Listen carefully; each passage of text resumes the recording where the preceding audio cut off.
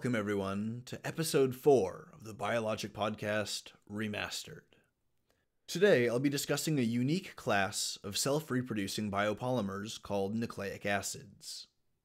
Nucleic acids can, and most likely did, form in the hot, mineral rich environments of the primordial Earth.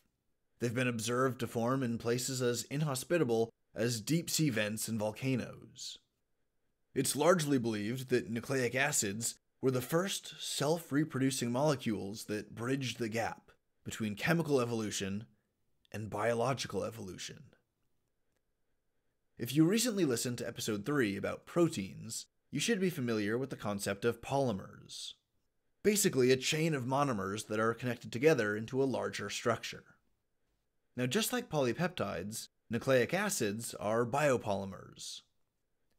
While the monomers in a polypeptide are called amino acids, the monomers in a nucleic acid are called nucleotides, or ribonucleotides.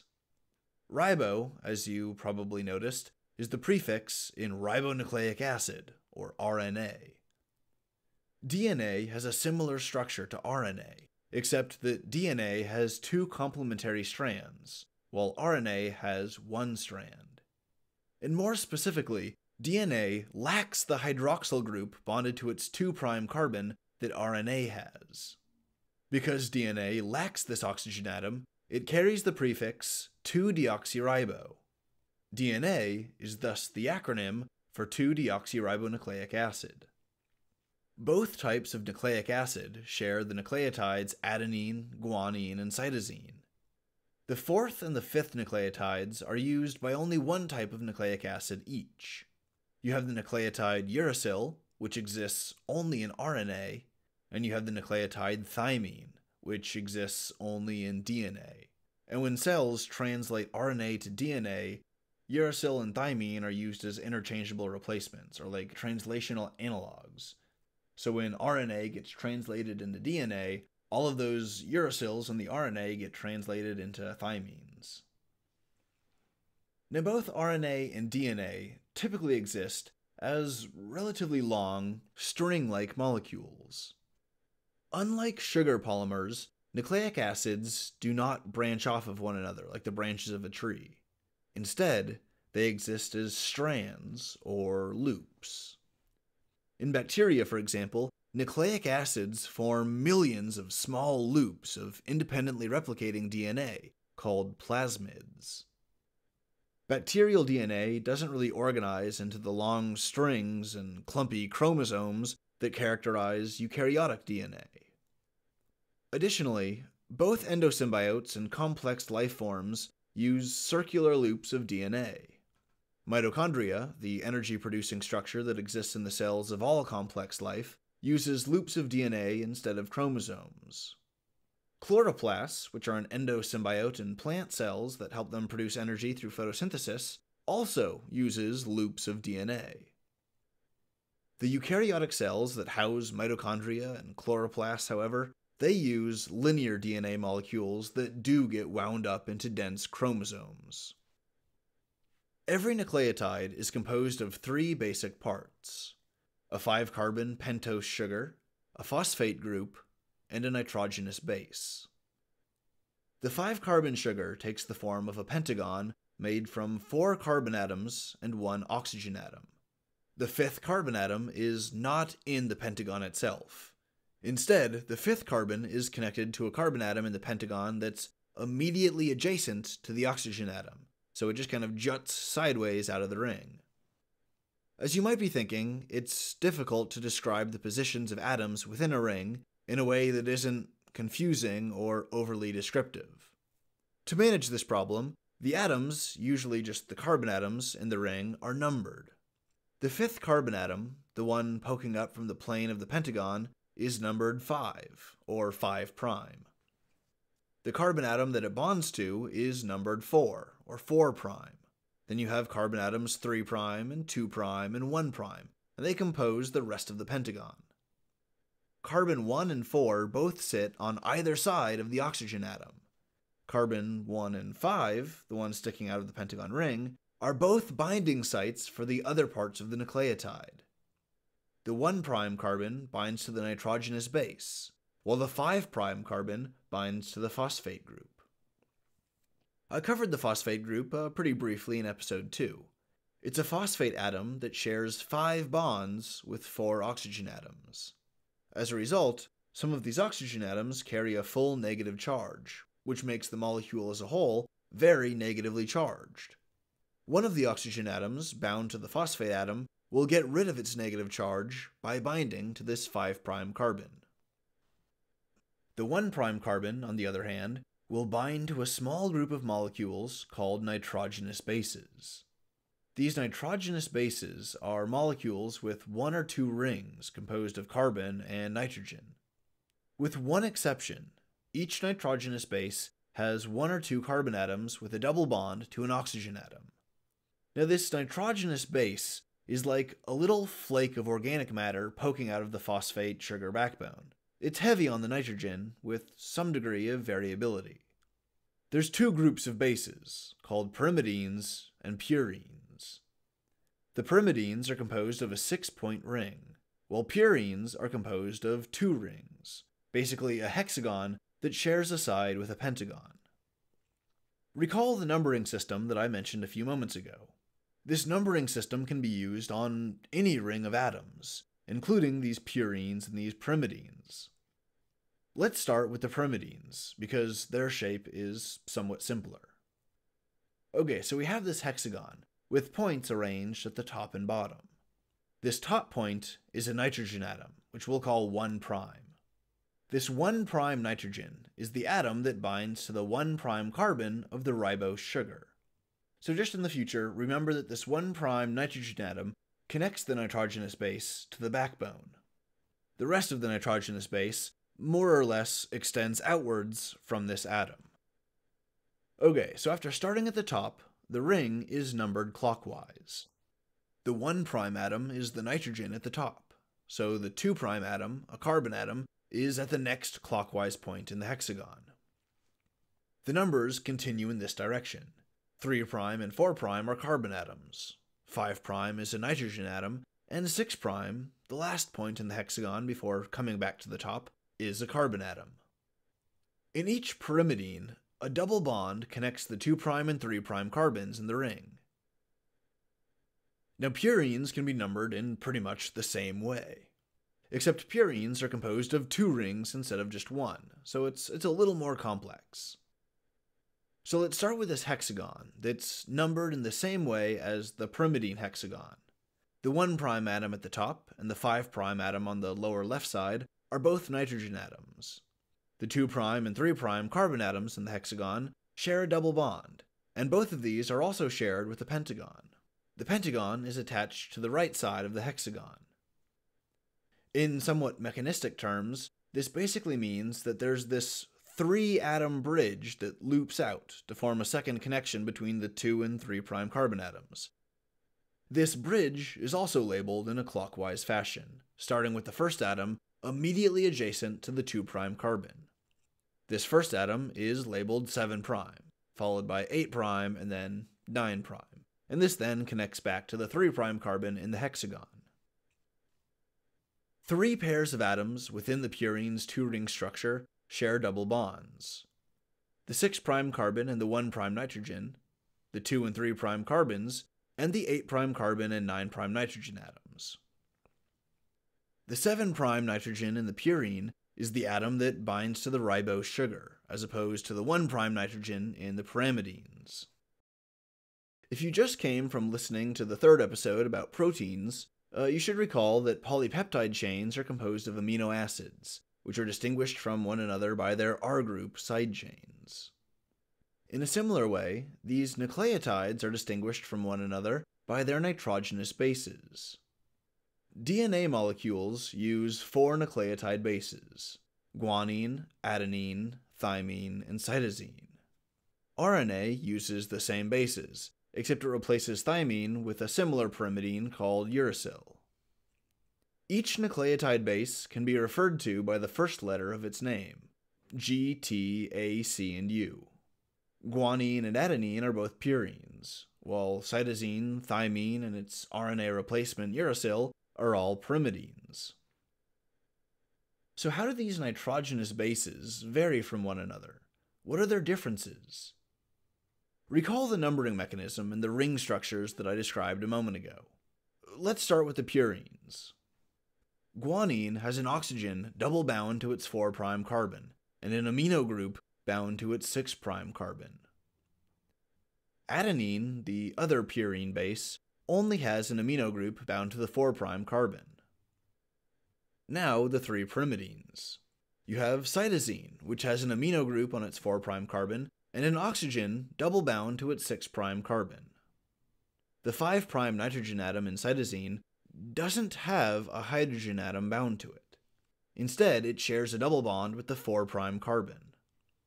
The other two pyrimidines, thymine and uracil, both have a hydrogen atom bound to their 5' nitrogen atoms, and only one double bond between the 2 and 3' carbons. Thymine, the base that's used in DNA, has two oxygen atoms. Each of them are in a double bond, one to the 4' carbon and the other to the 6' carbon. Thymine also has a methyl group, and this methyl group is attached to its 3' carbon. Uracil, the base used in RNA, is remarkably similar to thymine, sharing every quality except that little methyl group. So if you just take that little methyl group off, you turn thymine into uracil. Because DNA is double stranded, the bases fit together to form complementary pairs. Each pair consists of a purine and a pyrimidine base, which fit together with a few snug little hydrogen bonds. The bases in each pair connect like a puzzle piece, their physical geometries smoothly fitting together. Adenine and thymine, or A and T, they pair together, just as cytosine and guanine, C and G, also pair together. The AT connection has two hydrogen bonds, while the GC connection has three hydrogen bonds. This makes the GC connection slightly stronger than the AT connection. Long stretches of GC sequences in the DNA are thus harder to unzip, and they play a role in regulating DNA expression. I'll discuss all of this in greater detail in future episodes about DNA replication, transcription, and translation.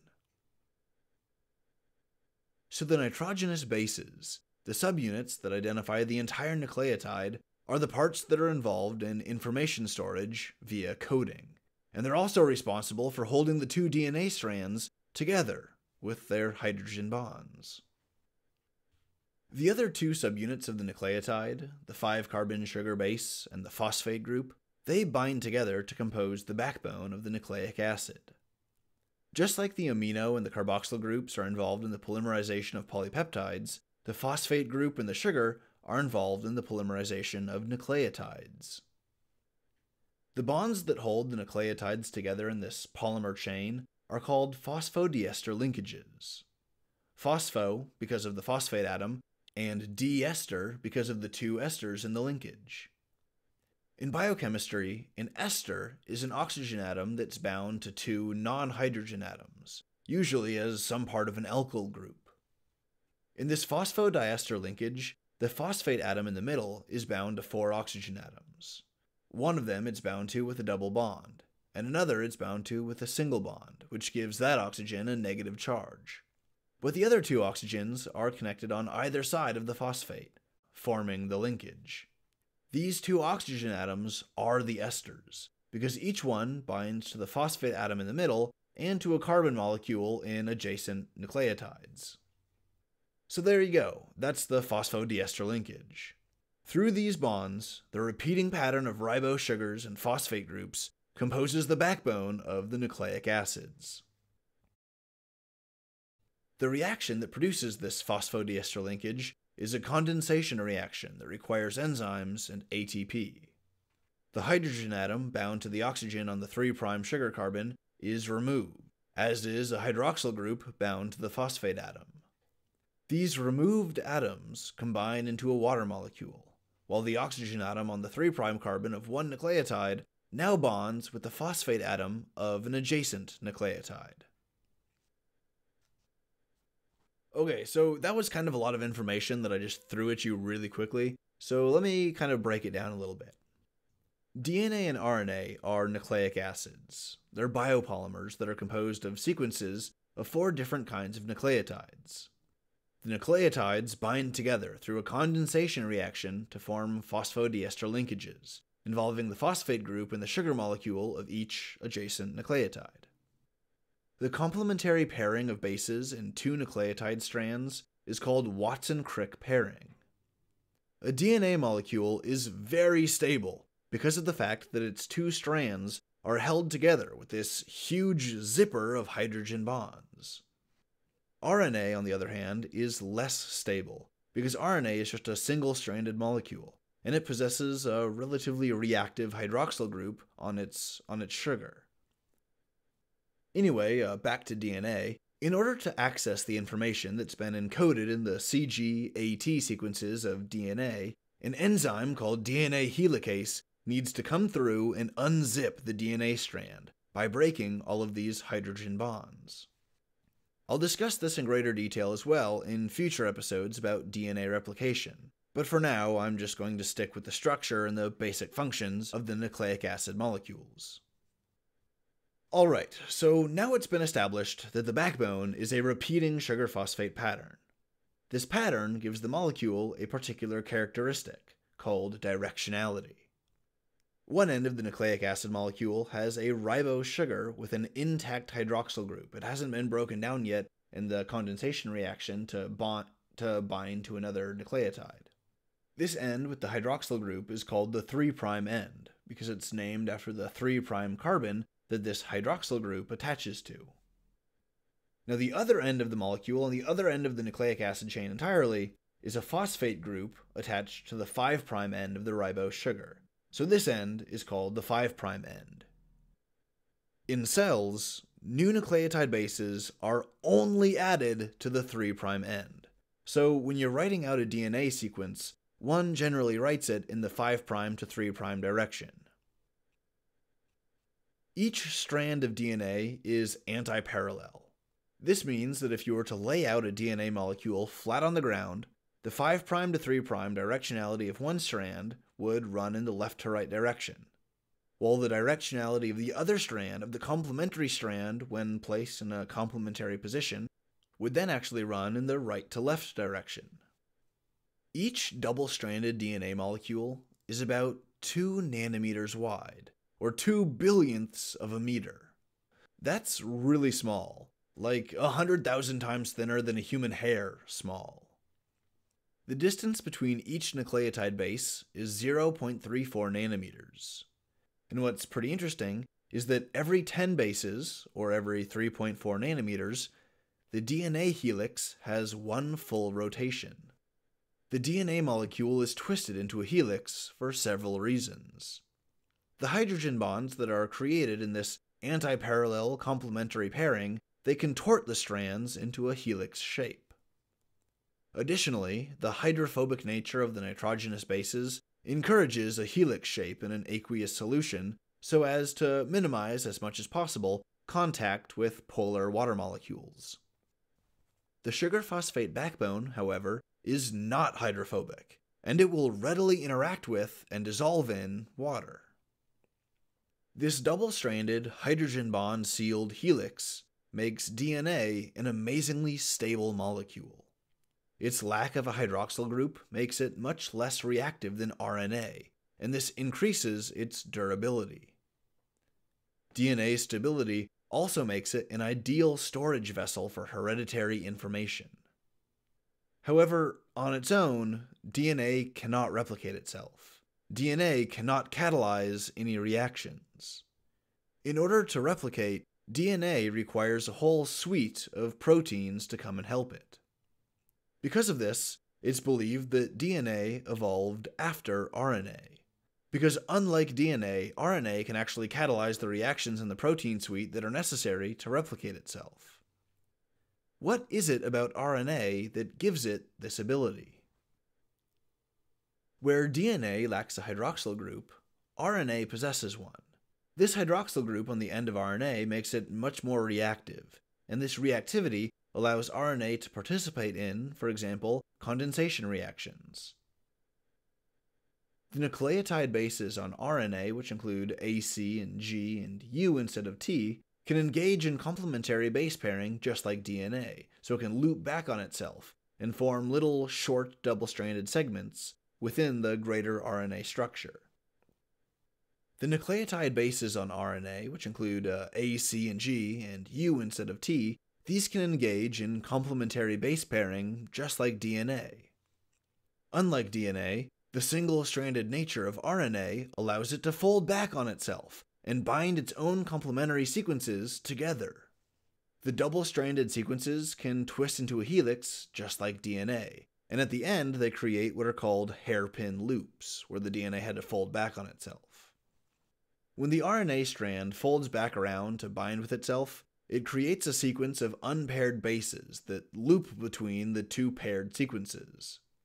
This unpaired sequence is called a hairpin loop. Because the bases inside the loop are unpaired and thus exposed, they can actually participate in other reactions or bind with free floating proteins. So, this little loop with these little reactive components on the inside are kind of like tiny little molecular petri dishes that can engage in little controlled chemical reactions. It's pretty cool. Again, unlike DNA, RNA can also replicate itself. Loose nucleotide bases floating around the solution are attracted to the exposed bases of the single stranded RNA. Through hydrogen bonding, these free floating bases will pair to the bases on the RNA, which now becomes what's called the template strand. The sugar phosphate backbone will fuse together with phosphodiester linkages, creating a double stranded RNA molecule. An enzyme, or just a good dose of heat, will break the hydrogen bonds, splitting the strands. As all of these free-floating nucleotides bind to complementary spots on the, on the template strand, their sugar phosphate backbone can fuse together with phosphodiester linkages, and this will create a double-stranded RNA molecule, with the original template strand and this newly synthesized strand that was built off of it, which is complementary to it. Now, if you have an enzyme like a DNA polymerase or RNA polymerase or whatever, or just a good dose of heat, this will come through and break all of the hydrogen bonds, and it'll split the strands. This newly synthesized RNA strand is complementary to the template strand. So if the newly synthesized strand were to be used as a template for another new complementary strand, then this second new strand would be identical to the original template. In this way, RNA can not just store information, it can also make rudimentary copies of itself.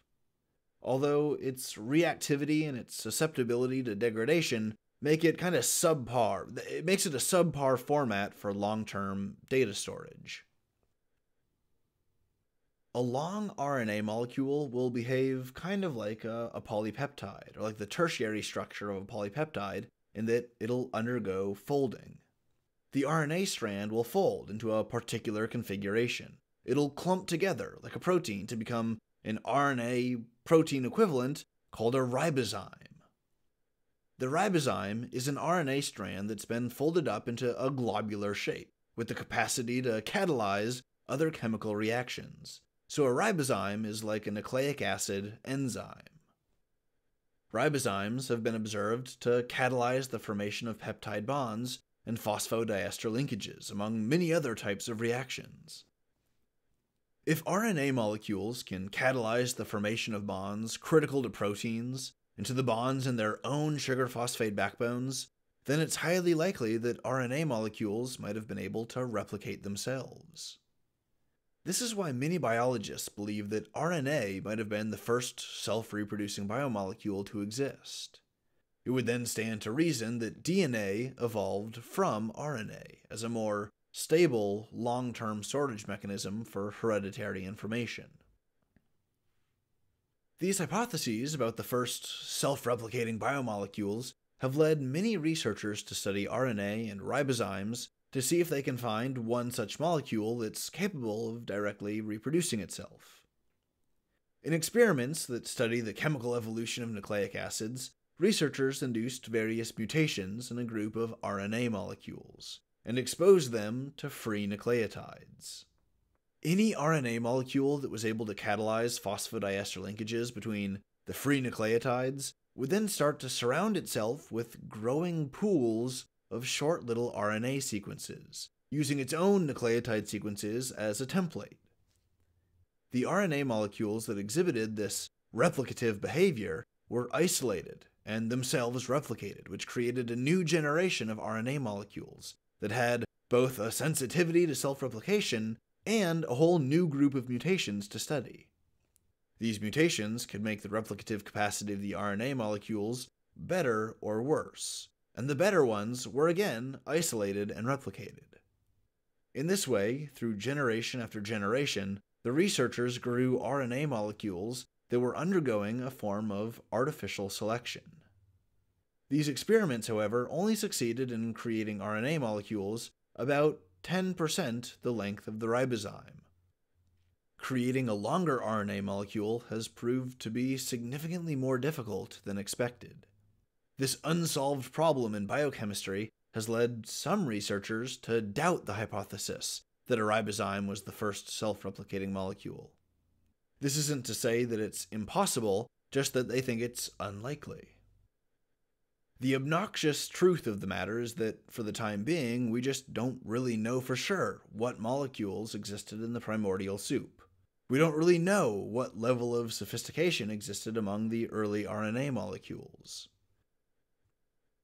In modern cells across virtually all organisms, ribozymes are involved in the construction of proteins. Now, this suggests, at the very least, an order of descent in the primordial soup. RNA most likely preceded proteins, because RNA helps the construction of proteins. Consider the conditions of the early Earth that I mention so often. The genesis of organic molecules seems to occur in energetic places, places that are exposed to heat, energy, gases, and mineral substrates. Deep sea vents are one such place, Boiling, sulfur, or iron rich gases perpetually soak the mineral encrusted interior of the vents. This supplies a constant stream of chemical and thermal energy to the organic molecules within the vent, namely nucleic acids and proteins. For cells to exist independently of this constant energy stream, they needed a way to store energy such that it could be transported and used later. Without these energy storing molecules, the first cells couldn't have lived for very long outside the warm mineral walls of their deep sea vent. The solution to this problem came with the evolution of a particular class of molecules called carbohydrates, which I'll explore in further detail in the next episode. But for now, that is it for episode 4.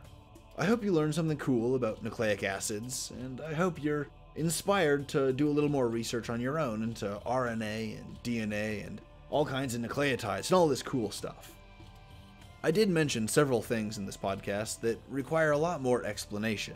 Stuff like transcription, translation, and DNA replication, which will all be covered in future episodes. But for the time being, thanks for listening.